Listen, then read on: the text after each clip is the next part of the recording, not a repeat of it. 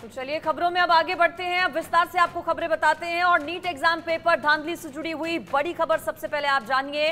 देखिए, India news की खबर का हुआ है बड़ा असर। चूँकि पहले दिन से ही इन अभ्यर्थियों की आवाज़ इंडिया न्यूज़ उठा रहा है। एक मांग जो पहले से की जा रही थी सीबीआई जाँच। अब केंद्र सरकार की ओर से, शिक्षा मंत्रालय की ओर से सीबीआई को इस पूरे मामले की जाँच सौंप दी गई है। साथ ही साथ एक हाई लेवल कमेटी का भी गठन किया गया है। नीट यूजी परीक्षा की जाँच अब सीबीआई करेगी। ये मांग पहले से छात्रों की चली आ रही थी। नीट यूजी परीक्षा में गड़बड़ी से जुड़ा यह पूरा मामला। इस पूरे मामले के लेटेस्ट अपडेट्स ये हैं कि सीबीआई मामले की जाँच करेगी। आज नीट जो पीजी एग्ज़ाम होना था, उसे फ़िलहाल स्थगित कर दिया गया है। साथ ही साथ हाई लेवल कमेटी इस पूरे मामले में बनाई गई है। शिक्षा मंत्रालय की ओर से। इंडिया न्यूज़ की खबर का हुआ है बड़ा असर और एनटीए के डीजी सुबोध को हटा दिया गया है। अब नई ज़िम्मेदारी नए प्रमुख को सौंपी गई है। एनटीए में सुधार की मांग देश भर में हो रही है। विपक्ष ने कई सवाल इसको लेकर पूछे। अब बड़ा अपडेट ये कि नीट यूजी एग्ज़ाम धांधली मामले में ये बड़ा एक्शन हुआ है, जहाँ पर शिक्षा मंत्रालय ने सीबीआई को जाँच सौंप दी है। यानी कि, अब जिस तरीके से यूजीसी नेट की परीक्षा में धांधली के बाद केंद्र सरकार की तरफ़ से बड़ा फैसला हुआ कि परीक्षा तुरंत रद्द कर दी गई। साथ ही साथ उस मामले को लेकर सीबीआई को जाँच सौंपी गई और अब नीट मामले को लेकर भी ये एक्शन लिया गया है। नीट यूजी परीक्षा की जाँच अब सीबीआई करेगी क्योंकि देश के अलग अलग हिस्सों से धांधली के मामले सामने आते रहे। परत दर परत खुल रही है। कई लोगों तक जाँच का शिकंजा पहुँच चुका है। कई गिरफ्तारियाँ हो चुकी हैं। सबसे बड़ी बात यह कि इंडिया न्यूज़ पर वो लाइव सबूत हमने आपको दिखाए हैं, वो ज़िंदा सबूत हमने आपको दिखाए हैं, जिसमें कबूलनामा कई लोगों की तरफ़ से किया गया है। वो कबूलनामा जिसमें माना गया कि कैसे पेपर को लेकर सेटिंग हुई थी, कैसे एक खास सेंटर पाया गया था, कैसे इसमें रिश्वत दी गई थी और देश के अलग अलग हिस्सों से कैसे नीट परीक्षा मामले में धांधली की खबरें सामने आ रही हैं। और इसी धांधली से जुड़ा एक और अपडेट भी है। शिक्षा मंत्री ने अब इस पूरे मामले को लेकर हाई लेवल कमेटी बुला ली है, बना ली है। यहाँ समिति दो महीने में मंत्रालय को पूरी रिपोर्ट जाँच की सौंपने वाली है। सात अधिकारी इस हाई लेवल कमेटी का हिस्सा, जिनकी ओर से इस पूरे मामले पर जो सभी तथ्य हैं, वो इकट्ठा किए जाएँगे। जाँच की जाएगी। हाई लेवल कमेटी का गठन किया गया है। शिक्षा मंत्रालय की ओर से एनटीए को लेकर, चूँकि तमाम तरह के सवाल, एनटीए इस वक्त पूरी तरह से सवालों के घेरे में है। 2017 और 18 के बीच एनटीए का गठन हुआ था।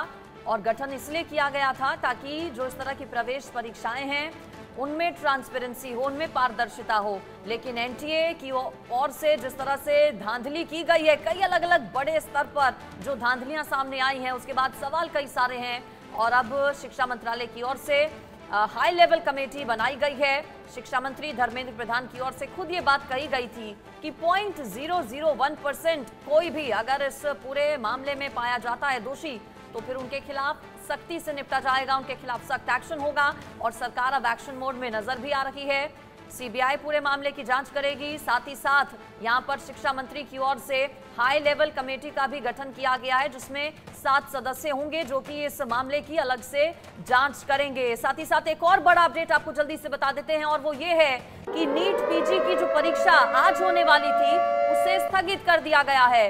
अगले आदेश तक के लिए नीट पीजी परीक्षा स्थगित की गई है। आज ये परीक्षा होनी थी, जिसमें करीब सवा दो लाख छात्रों को अपियर करना था। सवा दो लाख छात्रों की ओर से रजिस्ट्रेशन कराया गया था। परीक्षा की जो नई तारीखें हैं, वो जल्द ही उनका ऐलान हो जाएगा। यानी कि ये परीक्षा आगे कब होनी है, ये बताया जाएगा। इन सब के बीच में शिक्षा मंत्रालय अब तेज़ी से एक्शन मोड में आता हुआ सात अधिकारियों की हाई लेवल कमेटी बनाई गई है, जो इस पूरे मामले पर निगरानी रखेगी। साथ ही साथ सीबीआई को इस पूरे मामले की जाँच भी सौंप दी गई है।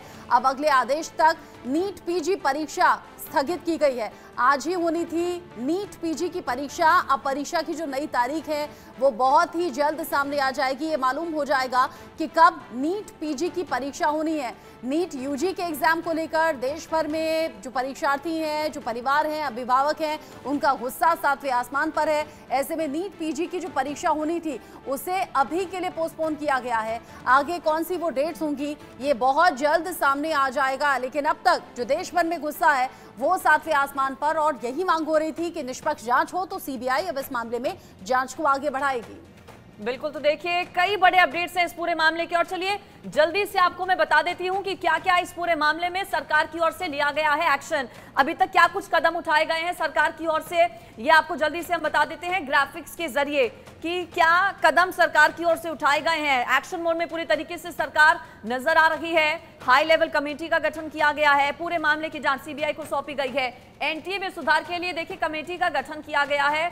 संरचना और कार्यप्रणाली की सिफारिश देगी। कमेटी दो महीने में अपनी रिपोर्ट तैयार करेगी और शिक्षा मंत्रालय को ये रिपोर्ट सौंपी जाएगी। डॉक्टर राधाकृष्णन होंगे कमेटी के अध्यक्ष। कमेटी का अध्यक्ष डॉक्टर राधाकृष्णन को बनाया गया है। साथ ही साथ कमेटी को दो महीने का वक्त दिया गया है। इस कमेटी के पास दो महीने का वक्त होगा। दो महीने में ये पूरी जाँच रिपोर्ट कमेटी तैयार करेगी, जिसके अध्यक्ष डॉक्टर राधाकृष्ण होंगे। एग्ज़ाम प्रोसेस में सुधार, डेटा, साथ ही साथ तमाम अलग अलग जो जानकारियाँ हैं, वो जुटाई जाएँगी। साथ ही साथ जो बड़े एक्शंस लिए गए हैं, वो भी आपको जल्दी से बता देते हैं। पेपर लीक पर तीन बड़े एक्शंस क्या लिए गए हैं? सरकार का सबसे बड़ा और पहला फैसला ये कि यूजी पेपर लीक की जाँच सीबीआई करेगी। देखिए, कई अलग अलग जो याचिकाएँ इस पूरे मामले में दाखिल की गई थी अलग अलग कोर्ट्स में, साथ ही साथ उच्चतम न्यायालय यानी कि सुप्रीम कोर्ट में, उसमें एक प्रमुख मांग ये भी थी कि पूरे मामले की जाँच सीबीआई को सौंपी जाए और ये बड़ा एक्शन, बड़ा कदम सरकार का कि सीबीआई पूरे मामले की जाँच करेगी। अब दूसरा फैसला क्या सरकार का, ये आपको बता देते हैं। एनटीए में सुधार के लिए सरकार से कमेटी का गठन किया गया है। सात सदस्यीय कमेटी है, सात अधिकारी इसमें शामिल हैं, जिसके अध्यक्ष डॉक्टर राधाकृष्ण बनाए गए हैं। दो महीने का इस कमेटी के पास वक्त होगा। सरकार का तीसरा फैसला क्या है? देखिए, एनटीए के डीजी को हटा दिया गया है। सुबोध कुमार को उनके पद से हटा दिया गया है। साथ ही साथ प्रदीप सिंह खरोला, जो कि आईएएस अधिकारी हैं, उन्हें एनटीए का नया डीजी बनाया गया है। एनटीए इस वक्त तमाम सवालों में है। पूरी तरह से सवालों से एनटीए इस वक्त घिरा हुआ है। नेशनल टेस्टिंग एजेंसी और अब नए डीजी बनाए गए हैं। ज़ाहिर है उनके सामने चुनौतियाँ अब बहुत सारी रहने वाली हैं। और नीट एग्ज़ाम धांधली ब्रेकिंग आपको बता देते हैं। नीट परीक्षा में अनियमितता से जुड़ा पूरा मामला। शिक्षा मंत्रालय ने सीबीआई पूरे मामले की जाँच सौंप दी है। ये सबसे बड़ा एक्शन है कि सीबीआई को जाँच सौंपी गई है। डीजी हटा दिए गए हैं एनटीए के। साथ ही साथ सात सदस्यीय कमेटी का भी गठन किया गया है।